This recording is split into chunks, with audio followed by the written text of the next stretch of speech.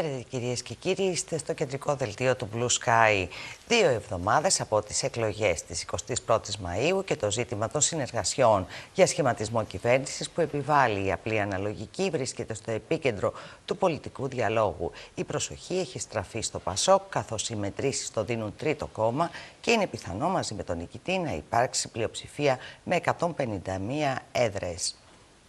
Το ενδεχόμενο για κυβέρνηση συνεργασία μετά τις εκλογές της 21η Μαου μοιάζει με γόρδιο δεσμό, καθώς Μητσοτάκης, Τσίπρας και Ανδρουλάκης φαίνεται να μην βρίσκουν κοινέ συνισταμένες. Ο Κυριάκος Μητσοτάκης δήλωσε πως θα κρατήσει τη διερευνητική εντολή την επόμενη των εκλογών, ωστόσο την ίδια ώρα φαίνεται να καίει όλο και περισσότερο τα σενάρια συνεργασίας με το Πασόκ, αφού μιλάει για θέματα πολιτικών διαφορών με το Κινάλ, πέρα από το προσωπικό ζήτημα για τις υποκλοπές που θέτει συνέχεια ο Νίκος Ανδρουλάκης πρόβλημα του δεν είναι η Νέα Δημοκρατία αυτή καθ' αυτή, ε, είναι ο Πρωθυπουργός. Εγώ όμως έχω μια άλλη άποψη. Εγώ έχω πρόβλημα με το Πασόκ.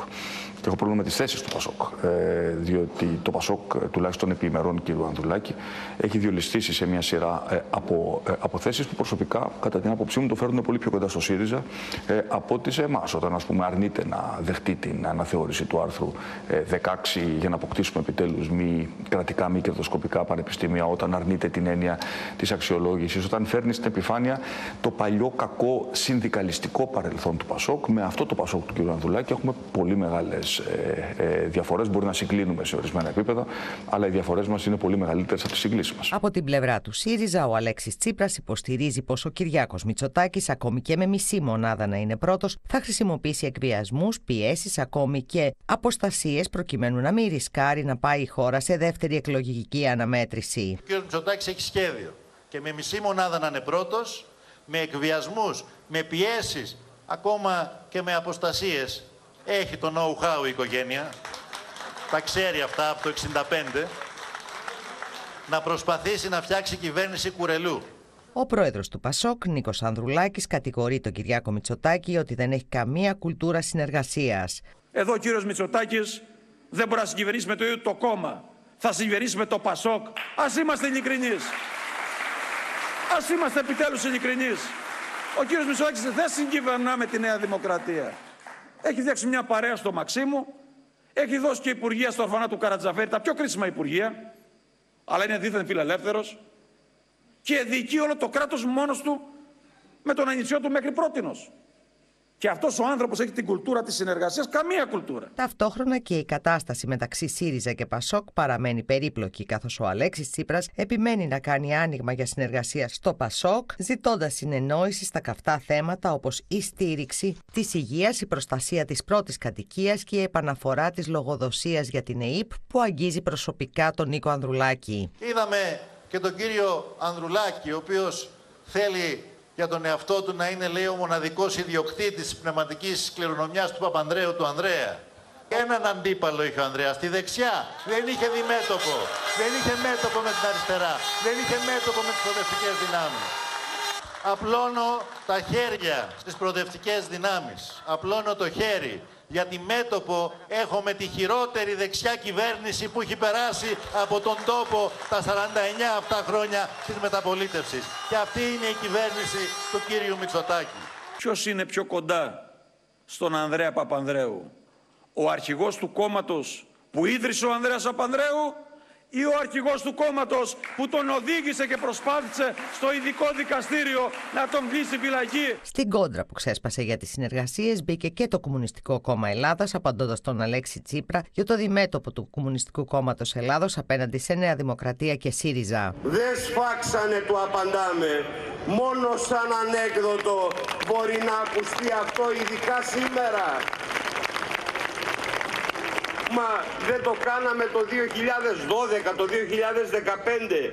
Πιστεύουν στα αλήθεια ότι υπάρχει περίπτωση να τους κάνουμε τη χάρη τώρα, να βάλουμε τα χέρια μας και να βγάλουμε τα μάτια μας. Ναρκοπέδιο όμως θυμίζει και ο χώρος στα δεξιά της Νέας Δημοκρατίας, με τον Κυριάκο Βελόπουλο να καταγγέλει προσέγγιση βουλευτών του. Αλλά Κυριακή κόντι γιορτή. Αύριο δημοσίευμα του τύπου θα επιβεβαιώσει αυτό που σας λέω.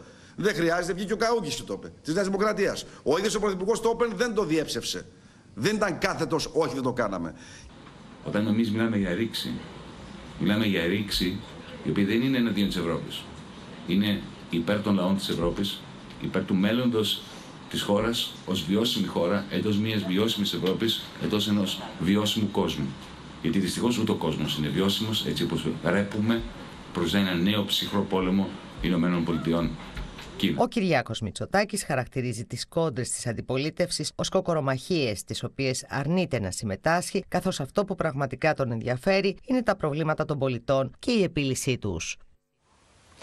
Στα ναυπηγεία Ελευσίνα, σε μια περιοχή άκρο συμβολική, βρέθηκε απόψε ο Πρωθυπουργός Κυριάκος Μητσοτάκης.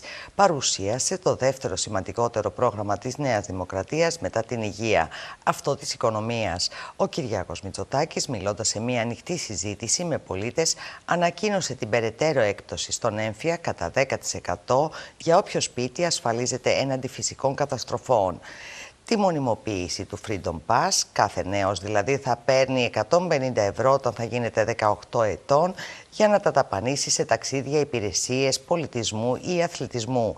Επίσης, ο Πρωθυπουργός ανακοίνωσε την αναμόρφωση στα επιδόματα τέκνων στο δημόσιο. Συγκεκριμένα, για ένα παιδί θα είναι στα 70 ευρώ, για δύο στα 120 και για τρία στα 170 ευρώ. Η ανεργία είναι η μεγαλύτερη μορφή κοινωνικής αδικίας, τόνισε ο Πρωθυπουργός και επεσήμανε ότι δεν υπάρχει πιο αποτελεσματική κοινωνική πολιτική από το να βοηθήσουμε έναν άνεργο να βρει δουλειά. Και αυτό είναι ένα σημείο στο οποίο η ΔΥΠΑ μπορεί να βοηθήσει μέσα από σειρά προγραμμάτων επιδοτούμενης εργασίας. Αναφέρθηκε στο πρόγραμμα για το πρώτο ένσημο και τόνισε πως η ουσία της πολιτικής του είναι η βελτίωση του επίπεδου των μισθών αλλά και του διαθέσιμου εισοδήματος μέσω της μείωσης των φόρων σε συνέντευξή του τώρα, ο κύριος Μητσοτάκης στη Real News τονίζει πόσο σημαντική είναι η κάλπη της 21ης Μαΐου.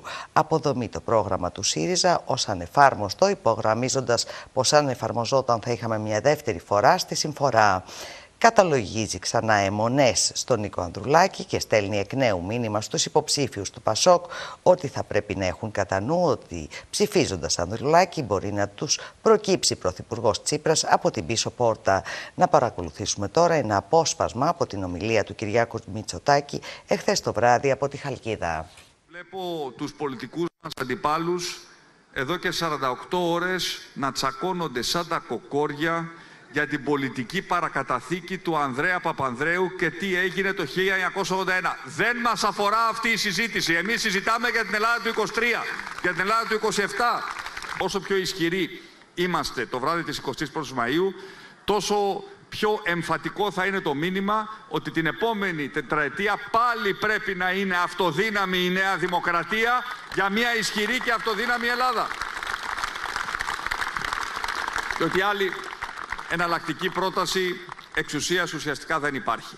Να ξαναχτίσουμε μαζί αυτό το μεγάλο προοδευτικό ρεύμα του πατριωτισμού και του δημιουργικού εξυγχρονισμού το οποίο χτίστηκε το 19 και θα ξαναδυναμώσει τώρα για να μας δώσει αποτέλεσμα αντίστοιχο και αν όχι και καλύτερο.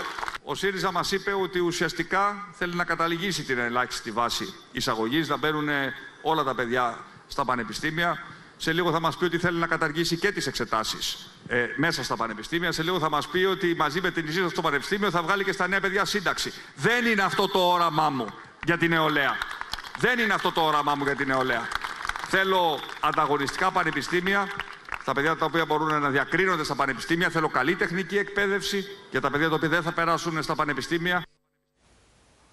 Τρία τώρα τουριστικά λεωφορεία κάηκαν τα δύο ολοσχερός μετά από επεισόδια που σημειώθηκαν έξω από τη Γεωπονική Σχολή Αθηνών όταν ομάδα νεαρών βγήκε από τη σχολή και άρχισε με να πετά μολότοφ και πέτρες σε αστυνομικούς που απάντησαν με χρήση χημικών. Τρία καμένα τουριστικά λεωφορεία και δύο σπασμένες τάσεις είναι ο απολογισμός από επιθέσεις με βόμβες Μολότοφ ομάδας ατόμων που βρίσκονταν μέσα στη γεωπονική σχολή που γινόταν πάρτι για την ενίσχυση του Ταμείου Φυλακισμένων. Σήμερα ήταν η μέρα αναχώρησης και το πρωί μας πήρε τηλέφωνο, πήρε τηλέφωνο συνάδελφος που είδε την τηλεόραση ότι και εγώ ήταν το λεωφορείο και ήρθα εδώ. Από ό,τι είπαν Μολότοφ. Είχαν μια εκδήλωση εδώ γύρω στα 60 άτομα και για άγνωστο λόγο επιτέθηκαν στα λεωφορεία. Τα επεισόδια ξεκίνησαν όταν μια ομάδα περίπου 20 ατόμων βγήκε από την πύλη του Πανεπιστημίου στη Λεωφόρο Καβάλας και άρχισε να εκτοξεύει αντικείμενα προς αστυνομικούς που βρίσκονταν στην περιοχή. Κάποιοι από αυτούς πέταξαν βόμβες Μολότοφ και ξεκίνησαν να σπάνε στάσεις λεωφορείων, ενώ οι αστυνομικοί απάντησαν με χρήση χημικών. Βλέπω αυτή την κατάσταση, παιδιά κόπηκαν τα πόδια μου. Απλά κάνω το σταυρό μου, είμαι το δεύτερο λεωφορείο στη σειρά. Κατέβηκα από το ταξί και νομίζω ότι δεν, με, δεν πηγαίναν τα πόδια μου. Αλλά απλά λέω, δόξα τω Θεώ, δεν με αγγίξανε. Από τη Μολότοφ προκλήθηκε φωτιά, από την οποία κάηκαν ολοσχερός δύο τουριστικά λεωφορεία που ήταν σταθμευμένα στο σημείο, ενώ άλλο ένα υπέστη ζημιές. Στο σημείο έσπευσαν τρία οχήματα της πυροσβεστικής προκειμένου να σβήσουν τη φωτιά στα φλεγόμενα λεωφορεία, ενώ προκλήθηκαν και μικροζημιές στο κτίριο του Πανεπιστημίου. Οι αρχές όμως εξετάζουν και την καταγγελία ενός 20χρονου που βρισκόταν μέσα στο Πανεπιστήμιο, σύμφωνα με την οποία κατά τη διάρκεια της εκδήλωσης άγνωστοι τον ξυλοκόπησαν με αποτέλεσμα τον ελαφρύ τραυματισμό του. Αλλάζουμε σελίδα τώρα. Η Βρετανία έχει περάσει στην επόμενη βασιλική της ημέρα μετά τη στέψη του Καρόλου του Τρίτου. Η τελετής στέψης ήταν λαμπρή με πλήθος καινοτομιών ενώ συγκέντρωσε το παγκόσμιο ενδιαφέρον. Δεν έλειψαν όμως τα πρόοπτα αλλά και τα, στιγμιότυπα, τα στιγμιότυπα που σχολιάστηκαν. God save the king!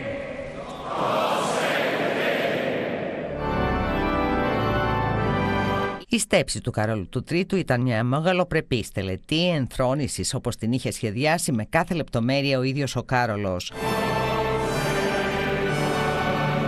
αναρτώντας βίντεο στα μέσα κοινωνικής δικτύωσης με εντυπωσιακές στιγμές από την ιστορική ημέρα για τη Βρετανία, η βασιλική οικογένεια ευχαρίστησε όλους εκείνους που συνέβαλαν στο εξαιρετικό αποτέλεσμα. Amazing. Absolutely. We got here at 5:20 and we were six rows behind.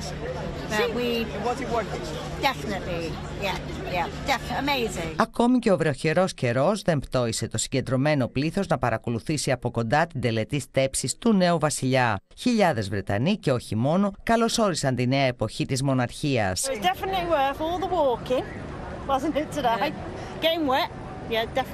Δεν έλειψαν όμως και τα απρόοπτα όπως το γεγονός ότι ο πρίγκιπας Βίλιαμ και η Κέιτ Μίτλετον δεν ήταν τόσο Άγγλοι στην άφηξή τους στο βαΐο του Westminster. Αποτέλεσμα της αργοπορίας τους ήταν ο Κάρολος και η Καμίλα να αναγκαστούν να τους περιμένουν προκειμένου να ξεκινήσει η τελετή της τέψης. Τα βρετανικά δημοσιεύματα εστίασαν βέβαια και στον πρίγκιπα Χάρη, που φάνηκε να μην κρατιέται ώσπου να τελειώσει η τελετή. Αμέσως μετά το τέλος της τέψης, ο πρίγκιπας έφυγε από το βαΐο και πήγε κατευθείαν στο αεροδρόμιο του Heathrow προκειμένου να επιστρέψει στην Καλιφόρνια και τη σύζυγό του Μέγαν Μάρκ, ώστε να προλάβει το πάρτι για τα τέταρτα γενέθλια του γιου του Άρτσι. Την παράσταση όμως έκλεψε ο πεντάχρονος εγγονός του Κάρολου Λούις, ο οποίος μάλλον βαρέθηκε όλη αυτή τη διαδικασία αν παρατηρήσει κανείς τα διαρκή χασμουριτά του. Ο δευτερότοκος γιος του Βίλιαμ βρήκε όμως τη ζωντάνια του κατά τη διάρκεια της αεροπορικής επίδειξης της βασιλικής αεροπορίας. Νωρίτερα, ένα άλογο που συμμετείχε στην πομπή της άμαξας του βασιλικού ζεύγους μετά τη στέψη, τρόμαξε και άρχισε να τρέχει προς το συγκεντρωμένο πλήθος, προκαλώντας σοκ στους παρευρισκόμενους. Δεν είναι όμως όλοι οι Βρετανοί ενθουσιασμένοι με τη στέψη του βασιλιά Καρόλου του Τρίτου. We believe that Britain's head of state, the highest public office in the land, should be elected by the people based on merit, not inherited and imposed upon us στην πλατεία Τραφάλγκαρ, συγκεντρωμένοι με συνθήματα και πλακάτ, διαδήλωσαν κατά της μοναρχίας, ενώ η αστυνομία προχώρησε στη σύλληψη 52 διαδηλωτών. Τι ημέρα έγραψαν στο βίντεο που ανέβασαν στα μέσα κοινωνικής δικτύωσης ο πρίγκιπας Ουίλιαμ και η Κέιτ Μίτλετον ευχαριστώντας όλους όσοι έκαναν ξεχωριστή τη χθεσινή ημέρα της τέψης του Καρόλου του Τρίτου.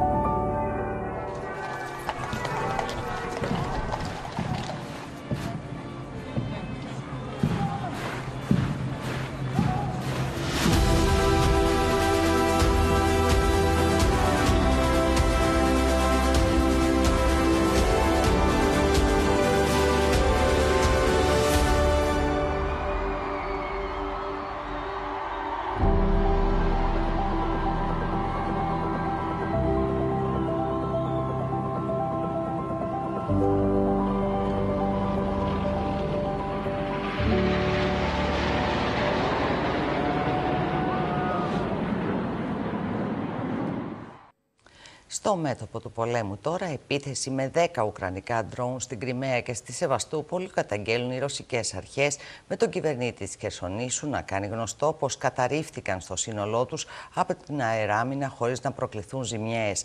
Μεγάλο μέρος της Ουκρανίας, όπως και στο Κίεβο, τέθηκαν σε συναγερμό λόγω ρωσικών επιθέσεων. Την ίδια ώρα, στα, στα, στα ανατολικά, ο ηγέτης των Τσετσένων, Καντήροφ, ανακοίνωσε πως οι μονάδες του έχουν ήδη ξεκινήσει για την πρώτη γραμμή και περιμένει οδηγίες από τον αρχηγό του στρατού της Ρωσίας μετά από τα αλλεπάλληλα ξεσπάσματα οργής του επικεφαλής της ομάδας Βάγνερ κατά της ρωσικής ηγεσίας και ταυτόχρονα το τελεσίγραφο για την αποχώρηση των στρατιωτών του από τον Μπαχμούτ.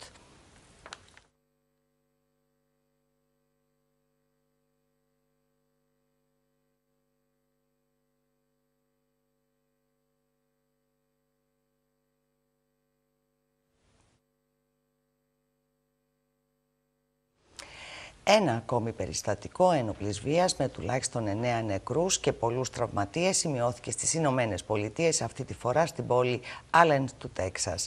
Οι ένοπλες επιθέσεις αποτελούν μάστιγα στις Ηνωμένε Πολιτείες ενώ μόνο από την αρχή του έτους έχει σημειωθεί αριθμός ρεκόρ από το 2016.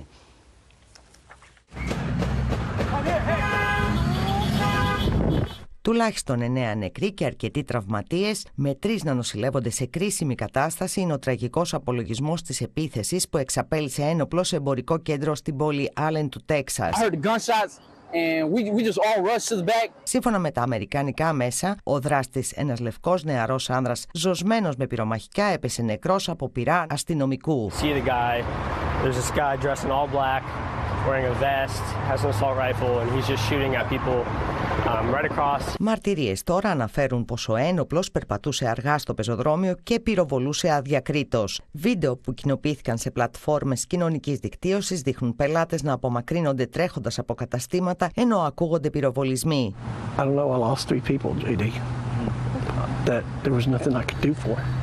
The first girl I walked up to was crouched down, covering her head in the bushes. Σε κατάσταση σοκ, δεκάδες πελάτες και υπάλληλοι απομακρύνθηκαν συνοδεία αστυνομικών από το εμπορικό κέντρο Allen Premium Outlets, το οποίο φιλοξενεί περίπου 120 καταστήματα και βρίσκεται 40 χιλιόμετρα βόρειο-ανατολικά του Ντάλλας. Ο κυβερνήτης του Τέξας, Greg Abbott, χαρακτήρισε ανίποτη τραγωδία την επίθεση, διαβεβαιώνοντας ότι οι πολιτιακές αρχές είναι έτοιμες να προσφέρουν οποιαδήποτε βοήθεια χρειαστούν οι υπηρεσίες στην πόλη Άλεν. People were like shouting and stuff and it was it was pretty scary. Um, yeah, everybody was trying to get out. Αδιευκρίνιστα όμως παραμένουν τα κίνητρα του δράστη, ο οποίος πιστεύεται ότι έδρασε μόνος. Οι επιθέσεις ένοπλων αποτελούν μάστιγα στις Ηνωμένες Πολιτείες, όπου μόνο από την αρχή του έτους έχουν καταγραφεί 198 μαζικές επιθέσεις. Ο αριθμός αυτός είναι ο μεγαλύτερος που έχει καταγραφεί για τη συγκεκριμένη περίοδο από το 2016.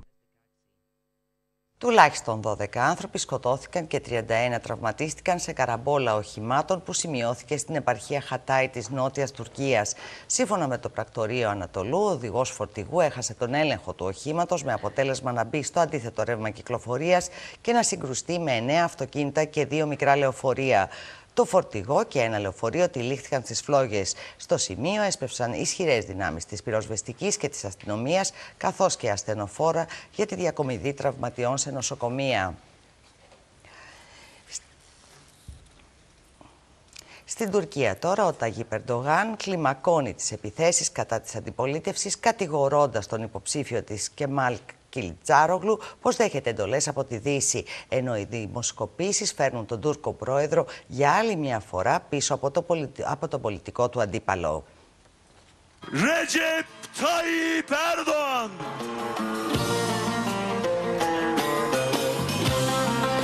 Περιοδεύοντας από πόλη σε πόλη, ο Ταγί Περντογάν δεν σταματά να επιτίθεται στον υποψήφιο της αντιπολίτευσης για την Προεδρία της Τουρκίας και Μάλκιλ Τιτσάρογλου, κατηγορώντας τον πως είναι υποχείριο της αντιπολίτευσης.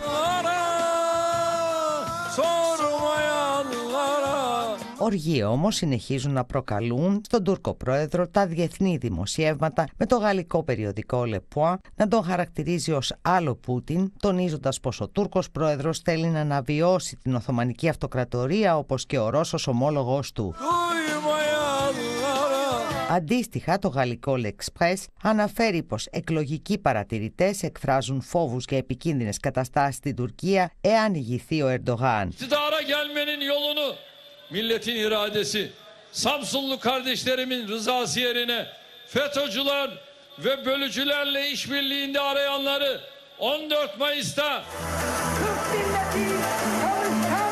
Από το Μάλτεπε, και Κεμάλ Κιλτιτσάρογλου κατηγόρησε τον Ταγί Περντογάν πως με τη διχαστική ρητορική του ρίχνει λάδι στη φωτιά μόλις μία εβδομάδα προτού στηθούν οι κάλπες στην Τουρκία. Αλλά να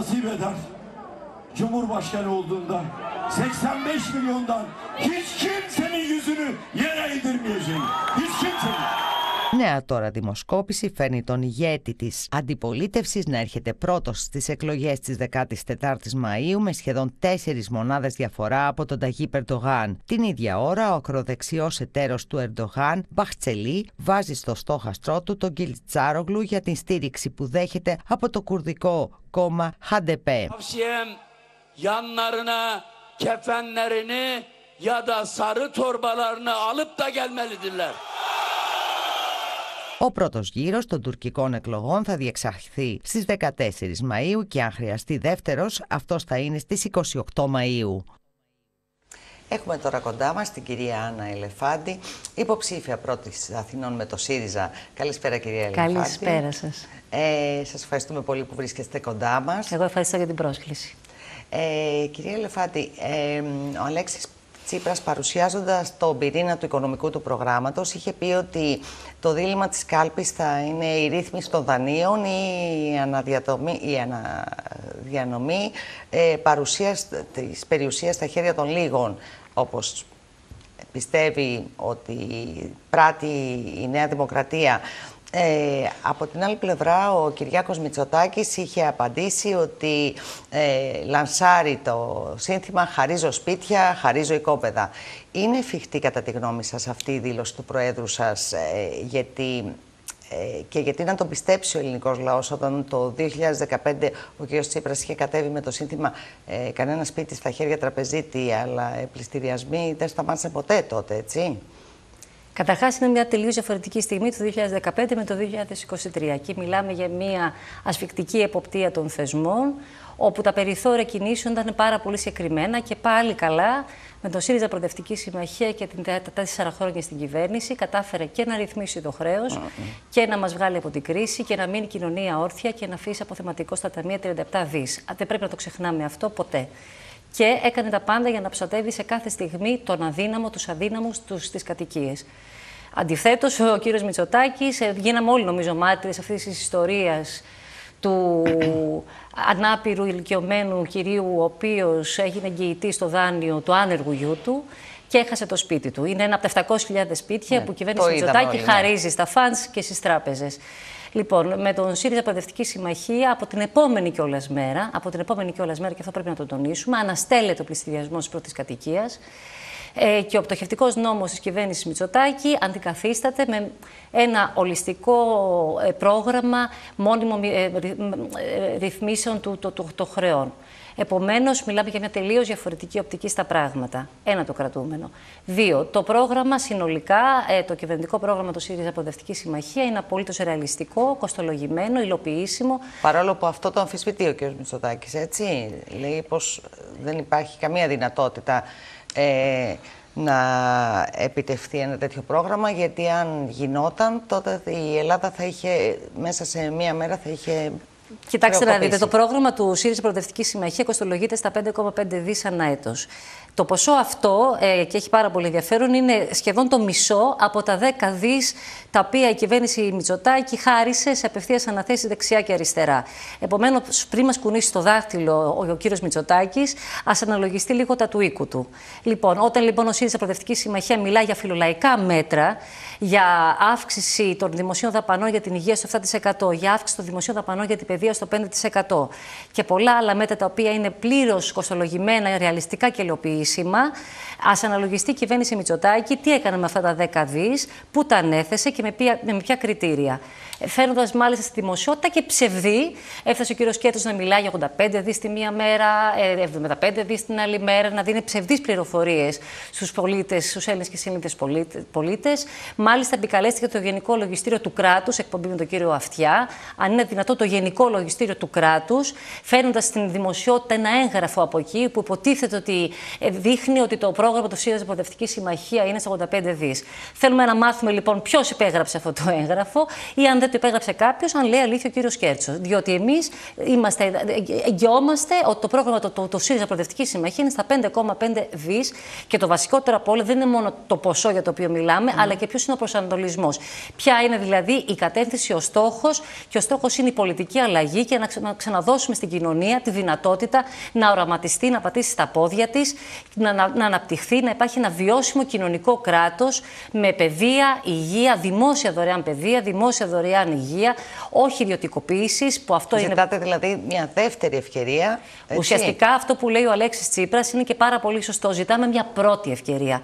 Με την έννοια ότι τώρα αποδεσμευμένοι από, την ασφικτικ... από τα ασφικτικά δεσμά των ε, θεσμών, των, των, ε, των δεσμών που φτάσαμε εκεί που φτάσαμε φυσικά, λόγω των ε, πολιετών ε, ε, διακυβερνήσεων Νέας Δημοκρατίας Πασόκ που φτάσανε στη χώρα στην απόλυτη χρεοκοπία. 321 δις ε, χρεοκοπία παρέλαβε η, ο ΣΥΡΙΖΑ Προοδευτικής Συμμαχία. Ναι, αλλά ήσασταν και, εσείς, και εσείς τέσσερα χρόνια κυβερνήσατε, έτσι. Και, δηλαδή... ο ΣΥΡΙΖΑ Προοδευτική Συμμαχία πήρε καμένη γη και κατάφερε όχι μόνο να, να, να ρυθμίσει το χρέος, να βγούμε από τα μνημόνια, να ξανασταθεί η κοινωνία όρθια, αλλά να αφήσει και αποθεματικό. Δεν υπάρχει άλλη κυβέρνηση στην ιστορία της ε, νεότερης, ε, στην νεότερη ιστορία αυτού του τόπου, που όταν ε, φεύγει από την, από την εξουσία να αφήνει πίσω όχι καμένη γη, αλλά μια πάρα πολύ γόνιμη, μια πολύ γόνιμη συνθήκη, βάσει της οποίας μάλιστα μην ξεχνάμε ότι μπορέσαμε και αντιμετωπίσαμε και την υγειονομική κρίση που ήρθε λίγα χρόνια μετά.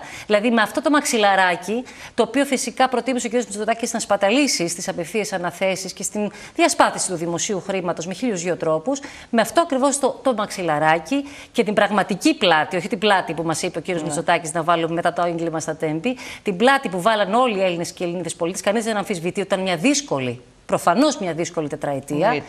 Πάνω σε αυτό λοιπόν το μαξιλαράκι ήταν ένα κυριολεκτικά πια και μαξιλάρι ε, σωτηρίας για την υγειονομική και άρα και την οικονομική κρίση που θα ακολουθούσε. Άρα είσαστε έτοιμοι πλέον να πάρετε... Είμαστε έτοιμοι πλέον γιατί έχουμε και την κυβερνητική εμπειρία. Προφανώς έχουν γίνει λάθη και από αυτά μάθαμε. Είναι αδύνατο να μην κάνει κανείς λάθη, αλλά πλέον έχουμε την κυβερνητική εμπειρία και πάνω απ' όλα έχουμε κάτι πάρα πολύ σημαντικό που δεν έχει η κυβέρνηση Μητσοτάκη. Έχουμε καθαρό πολιτικό μητρό. Αυτό είναι μια μεγάλη διαφορά από εμάς. Κυρία Λεφάτη, σας ευχαριστούμε πάρα, πάρα πολύ που ήσασταν απόψε μαζί μας. Ε, εύχομαι καλή επιτυχία. καλά. Ε, ελπίζω να τα ξαναπούμε σύντομα. Καλό σας βράδυ. Να είστε καλά, ευχαριστώ για την πρόσκληση. Να είστε καλά και εμείς ευχαριστούμε πάρα πολύ. Και εδώ κυρίες και κύριοι το δελτίο μας ολοκληρώθηκε. Μπορείτε να το παρακολουθήσετε και στην ιστοσελίδα μας του σταθμού μας blueskystv.gr. Από όλους εμάς, καλό σας βράδυ.